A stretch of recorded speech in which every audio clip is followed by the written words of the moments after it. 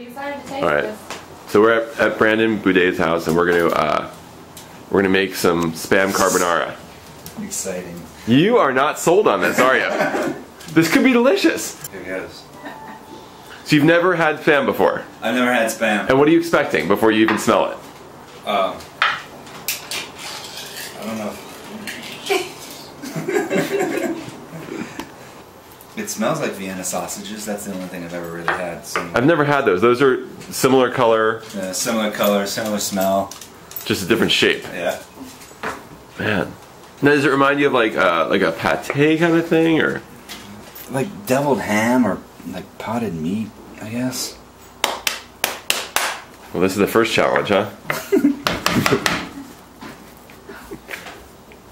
Came out perfectly. Well, yeah, let's see if we can. And you, when you make a carbonara, usually you use uh, prosciutto or bacon, or what do you do? Uh, pancetta. Use pancetta. Yeah. This is enough for about three people.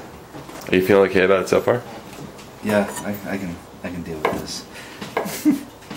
Wait, so you're using super high-end pasta, Uh, we got high-end uh, dried pasta. right? We got really good Reggiano Parmesan cheese. Right. We got really good uh, Pecorino Romano. And we got some brown organic eggs. Now, are you thinking that the good products will mask any problems in the spam, or are they just going to make it more obvious?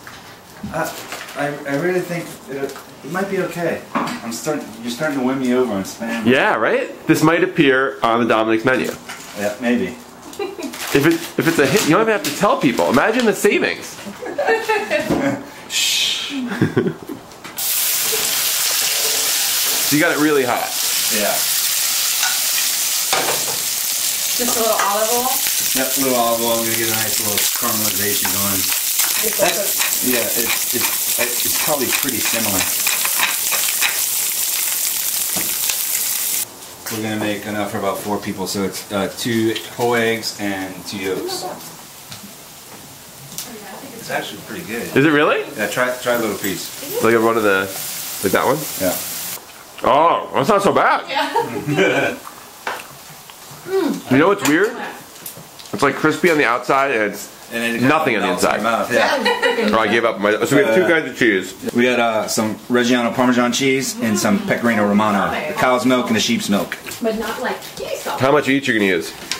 You have no idea. Just about, like- a, uh, about a quarter, half a cup of each. And you want some of that pasta water in there, it's fine. so you add the pasta to the uh, bacon. Yeah. Not I would, I would I would think you would go with the eggs first. Now we're gonna, because all this stuff is nice and hot. Stuffed chicken like. This is the best part. Those are so good. So you want some pasta water in there. Yeah. I'm learning a lot. Not about filming though.